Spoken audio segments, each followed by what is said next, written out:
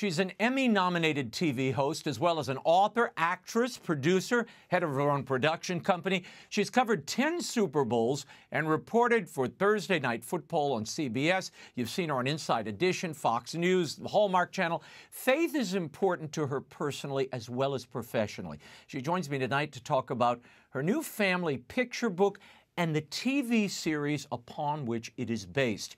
The Magic of a Small Town Christmas. Please welcome Megan Alexander to the show. Megan, great to see you. Now, you have not been shy about your faith. In 2017, you wrote a book called Faith in the Spotlight, uh, Thriving in Your Career While Staying True to Your Beliefs. And in it, you tell the story of how faith played a role in your work early on in your career. And as a result, you decided to publicly disagree with a co host about Hugh Hefner. How did that decision shape the future of your career? Yeah. Oh, Raymond, thank you for having me. It's a it's a pleasure and a blessing to be here. You know, I was raised in a Christian home, uh, accepted Jesus as my Lord and Savior at 5 years old, went to Christian school all the way up through college. But I always wanted to do something in in TV and film. I always wanted to be in the entertainment industry and I just wasn't sure how those two were going to go together, how those two were going to blend. Um, but I just I, mm. I kept thinking you know, God will let me know when it's time to speak about my faith. When you look at the Bible, we've got stories of people that never felt prepared or qualified, whether it's Moses, whether it's Daniel, whether it's Esther. But what did they do? They just kept moving forward and uh, looked to the Lord that He would let them know when it was time to to make that move or to go after something or to achieve something for Him. And so I, I wanted to do good work first, build those relationships get to know people. And then, yes, there was a time on set on live television where my co host was praising Hugh Hefner on his birthday and really exalting oh. him as this incredible man. And I just, I, I thought this is a moment. I have to speak up because I don't agree. And so I did.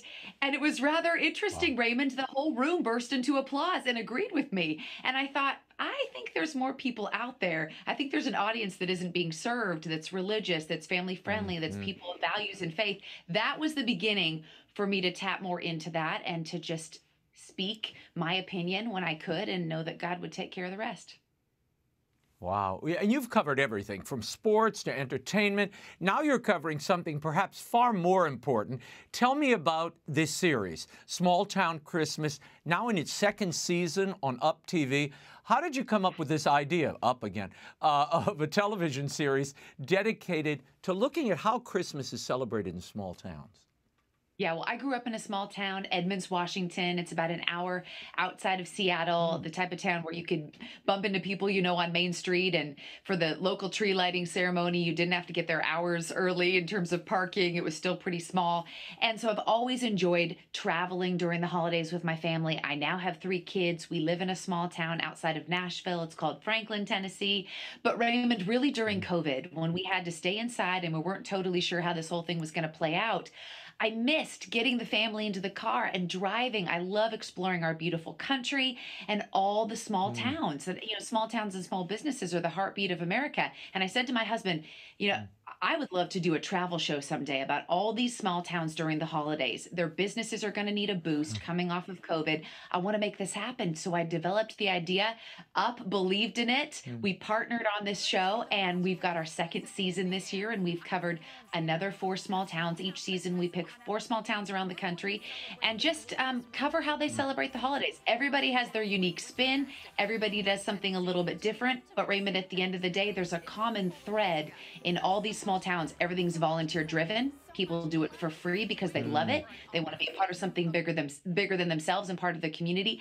And Raymond, the other thing is churches. I find are still the center of so much activity in these small towns. How did you decide which towns to highlight, which uh, places to travel for the audience, uh, as well as for you know the communities you'll become you cover in the series? Yeah.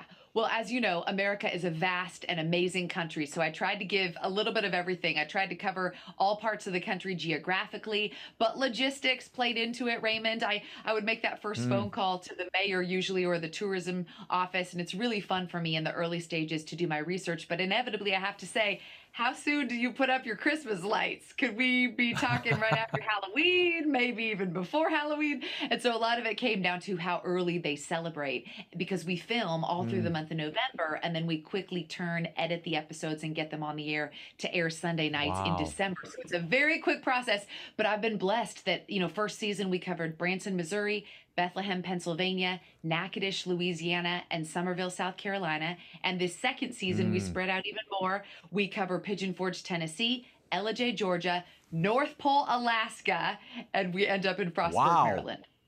Yeah.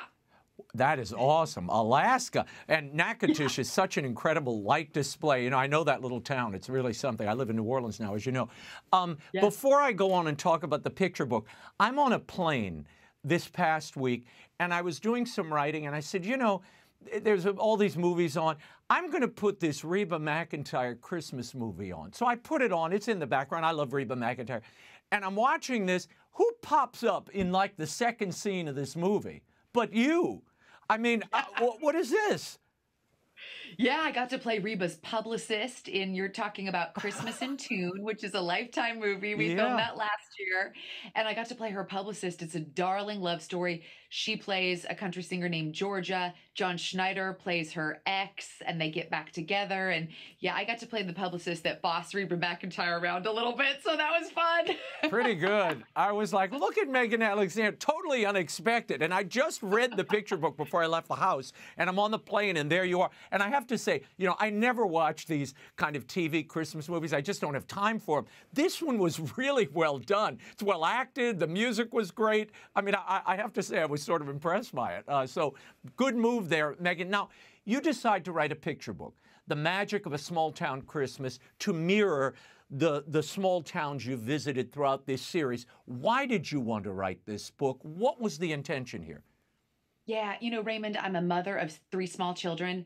And like so many people in this world, I am constantly looking for family friendly, positive content. I'm wanting to read books with hmm. my kids, watch TV shows and movies with them. So that's really the next chapter for me personally and professionally is I, I want to contribute positively to the media landscape. And I would come home from my travels covering these small towns and I'd be telling my kids about it.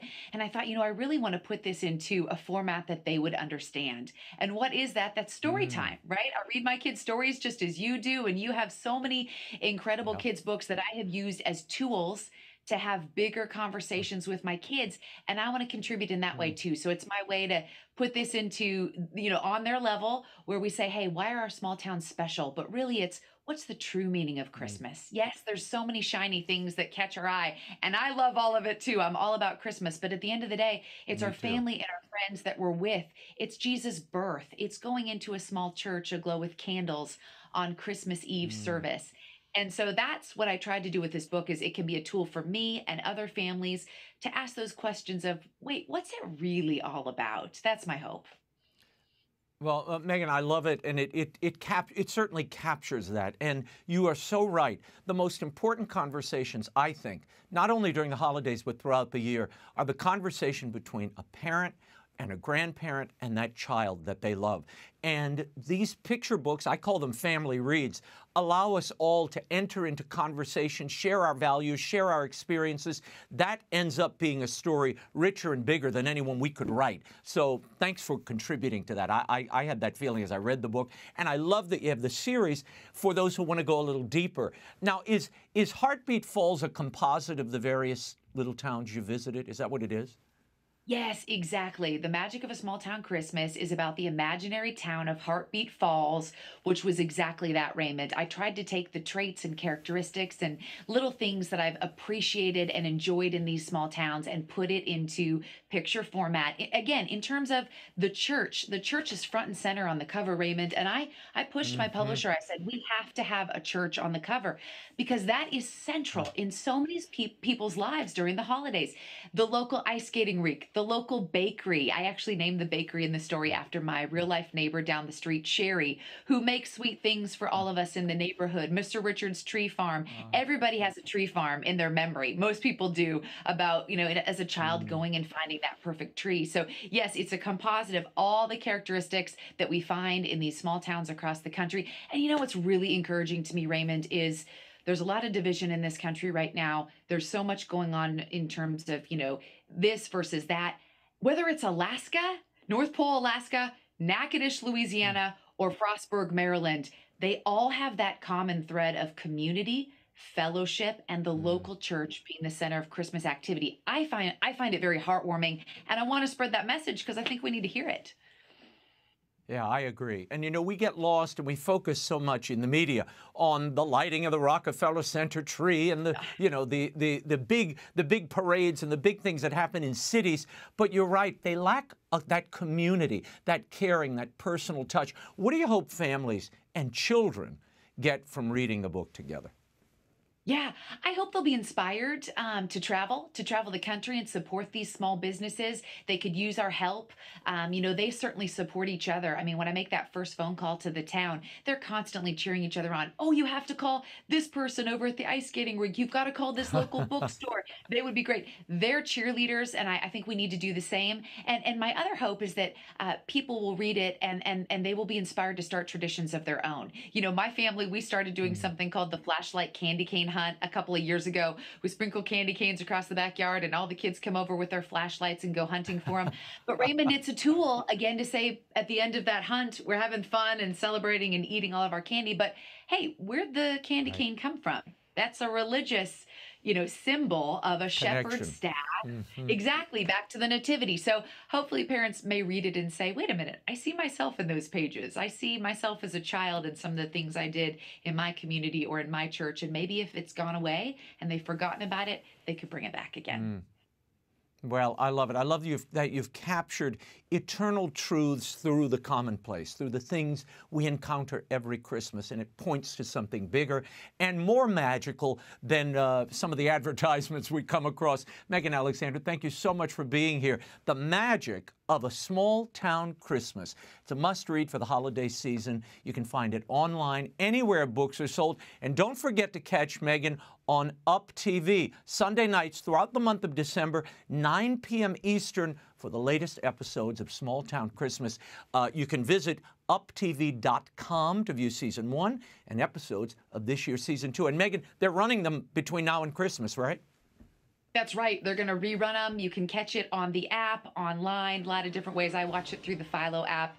So thank you, people, for tuning in. Thank you, Megan. Merry Christmas to you and Brian and the kids, and uh, we'll see you soon.